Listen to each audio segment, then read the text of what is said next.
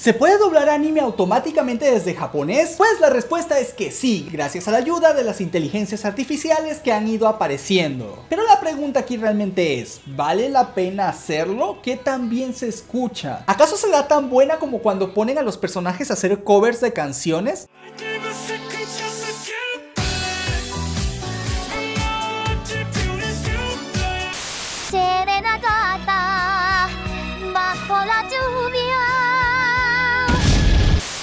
Lentos como un fuego ardiente, cumpliendo muy misteriosos la visión. Así que para hacer este experimento, lo primero que necesitamos es una escena de anime adecuada. Así que después de buscar un rato, decidí utilizar esta escena del spin-off de Megumin.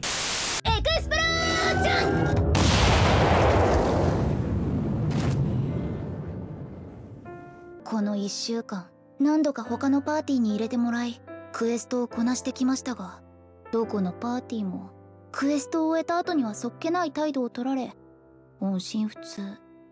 爆裂魔法のみしか使えない魔法使いなどお呼びでないと。この私がいらない子扱い。この私が天才と呼ばれた。このこの私が！あすみません。Ok, ahora que lo tenemos, vamos a hacer la prueba utilizando una página llamada Rask AI, la cual no nos patrocina, no nos da un centavo, simplemente la utilizamos porque decía que podía traducir automáticamente de cualquier lenguaje y pues vamos a creerle. Así que vamos a llenar todos los datos del proyecto, vamos a darle el link de YouTube y vamos a ver cómo sale. Me han pedido que me una a otras partidas varias veces durante la semana pasada para hacer misiones pero todos han sido muy bruscos y despectivos conmigo después de terminar las misiones y me han vuelto a llamar genio. Lo siento, ¿puedo hablar contigo otra vez? Técnicamente no hay nada de malo, ¿no? Pero pues como que algo no cuadra, ¿no?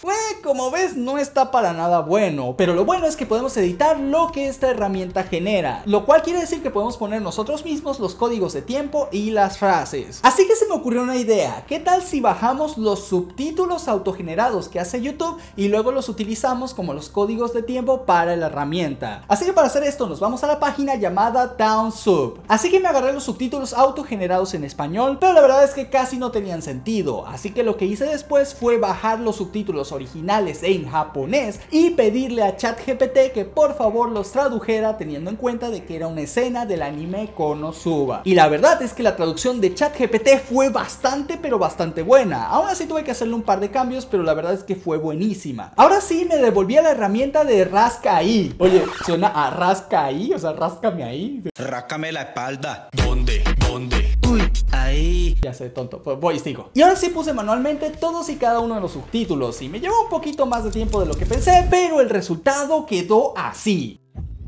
¡Explosión! Durante esta semana, me uní a varios grupos diferentes. Me llamaron inútil por ser una maga que solo puede usar magia explosiva. Lo siento, ¿podrías ayudarme una vez más?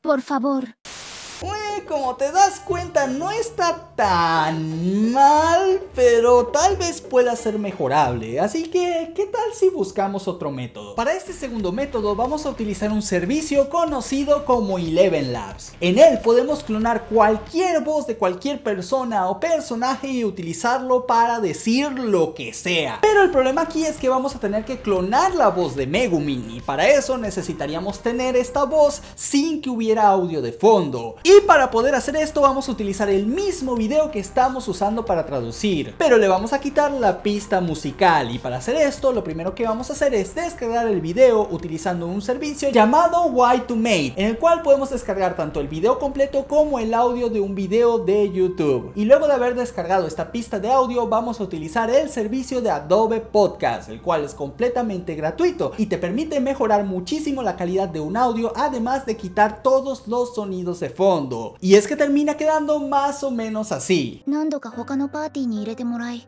クエストをこなしてきましたが、何度か他のパーティーに入れてもらい、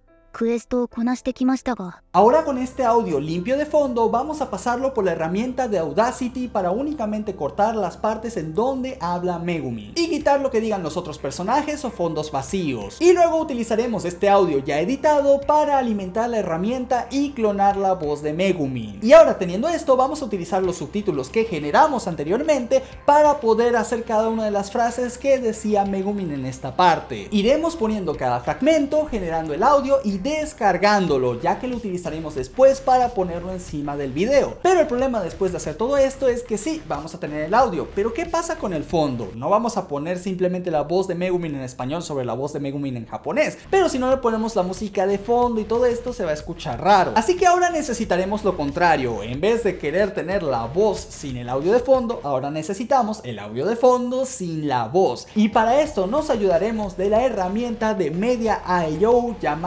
Vocal Remover. Aquí podemos poner cualquier audio, nos va a quitar la voz y solamente nos va a dejar la pista de fondo. Y por cierto, sirve bastante bien si quieres hacer versiones karaoke de tus canciones favoritas. Pero volviendo al tema, ahora que tenemos el sonido de fondo, los audios de Megumin y el video, lo vamos a montar todo encima de tu herramienta de edición favorita, ya sea Vegas, Premiere, Filmora o cualquiera que uses, y el resultado final se ve así. ¡Explosión!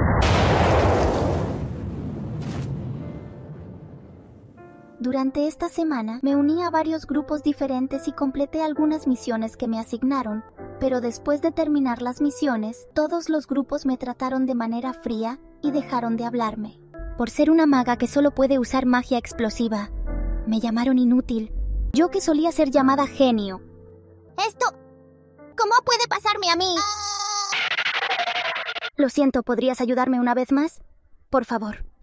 Como ves el resultado está bastante bien, pero está lejos de ser perfecto, porque si bien en algunas partes sigue sonando como la verdadera Megumin en japonés, en otras a veces la voz no se parece tanto o no suena propiamente con la emoción que debería de tener. Sin contar que a pesar de que esto fue un método automatizado, la verdad es que hubo mucho trabajo extra de por medio y tal vez no valga tanto la pena para proyectos grandes, pero lo cierto es que YouTube va a liberar una herramienta de doblaje automatizado a de este año y la verdad me encantaría probarla para ver qué tanto podemos hacer con ella. Y aunque los resultados de este experimento no fueron perfectos, hubo otro en el cual sí salió bastante bien y es cuando hice una inteligencia artificial para que fuera un streamer en Twitch, muy parecida a Neurosama pero esta en español. Y el video completo de cómo la hice y qué herramientas utilicé te lo dejo por acá.